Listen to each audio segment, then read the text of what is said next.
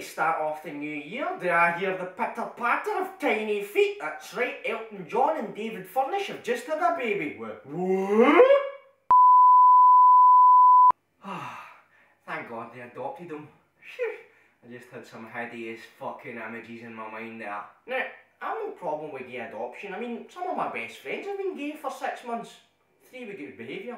However, what I do have a problem with is bringing up a child in its own purpose-built £1.3 million flat with the help of its own staff. If that's not shaping up to be the backstory of a supervillain, I don't know what is. I'll already have access to outrageous costumes and terrifying wigs. As soon as it harnesses the awesome power of magnets, we're all screwed. Oh well, still be more entertaining than my two dads, I suppose.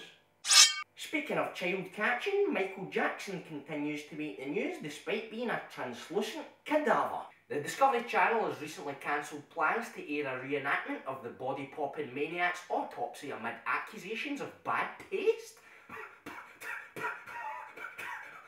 I really think they've missed the opportunity to create a TV spectacular which would rival his gaudy showbiz funeral. They could have set the removal of various bits of anatomy to his catalogue of hits.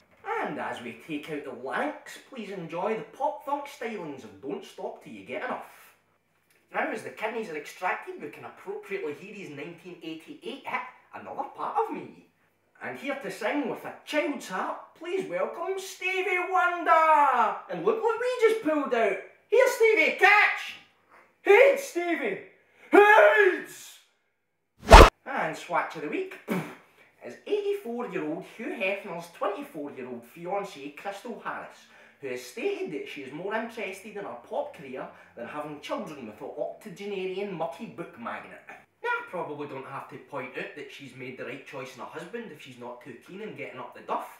Hopefully she can think up some catchy romantic lyrics while she's getting pumped full of dust. Look at the soullessness in her eyes. Gets me every time. And in an effort to include some more positivity in the views, Annie Lennox has just been rightfully awarded a CBE in the new honours list for her wealth of charitable work. So I say congratulations, but why not just bestow a knighthood? Because we need more harder knights in this country. Let's be honest, I wouldn't fight them. And to end the review on a rather sombre note, cinematic legend Pete Postlethwaite has sadly passed away at the age of 64 proving that God's judgment is unjust, given that he was in the mood for taking a celebrity named Peter and Mr. Andre still walks the earth. To celebrate the Inception star's life, here he is swearing at Philip Schofield. Uh, heated by newspapers that are thrown away on the subway, you know, London and today. The, uh, the projectors run by pigeon shit and stuff like that. sorry about that, by the way. Sorry, pigeon poo. pigeon shit. One, like puff from one.